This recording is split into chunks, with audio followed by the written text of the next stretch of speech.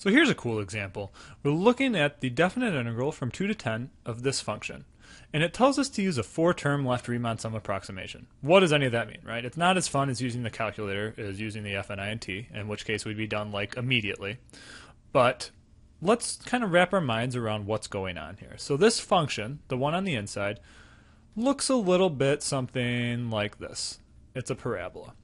And so when we're using this four-term left Riemann sum approximation, what it's saying is if you remember back to 5.1, it wants us to use subdivisions, right? And it wants us basically to have four intervals. So we want four subdivisions, one, two, three, four. And we want this to start at two, we want it to end at 10, and then for the height, we're going to use the remember the big idea of what we're trying to calculate here is the area under the curve in this area and in between 2 and 10 we're trying to calculate the area under the curve.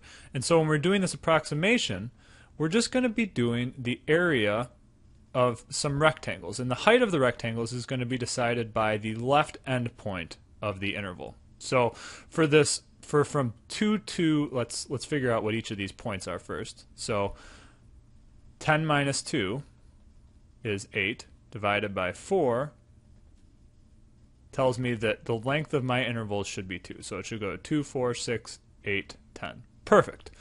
Now let's see what my rectangles look like. So my first rectangle is going to be here. That that's my rectangle from 2 to 4. And the reason my rectangle is this high is because that's how high f of 2 is. Now my next rectangle that starts at 4 goes up to where f of 4 is, and then it just goes straight and then goes down. My rectangle after that, let's put bottoms on these rectangles. My rectangle after that will go up to f of 6, and then it'll go over and go down. It's my yellow rectangle. And then finally, uh, let's use a dark green rectangle here. This is my last area goes up that high.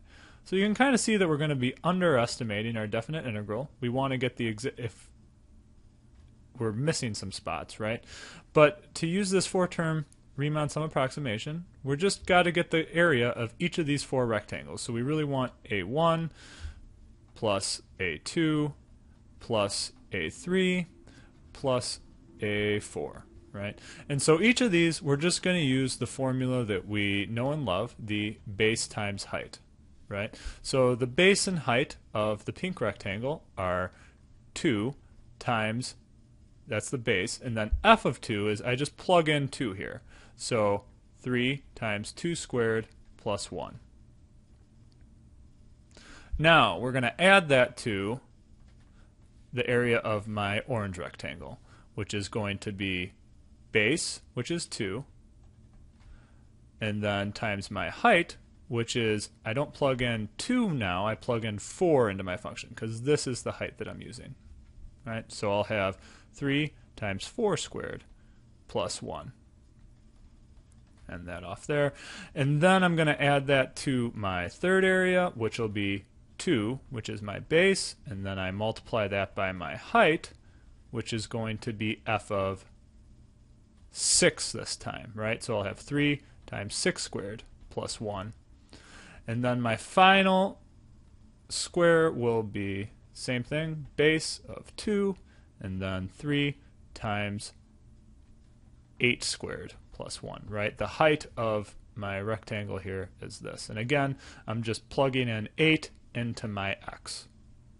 So I'm adding up these four rectangles, and hopefully we can see how adding up these four areas, the pink, the orange, the yellow, and the green areas, gives me an approximation for the area, the total area underneath my curve, which would look something more, it would actually go all the way up to the top, right? This is the area I want, this fully shaded in area. But this is the area that I'm going to get, and that's why we call it an approximation. If you plug this into your calculator and actually add everything up, you'll get 744. So that would be the answer if it asked you to estimate this.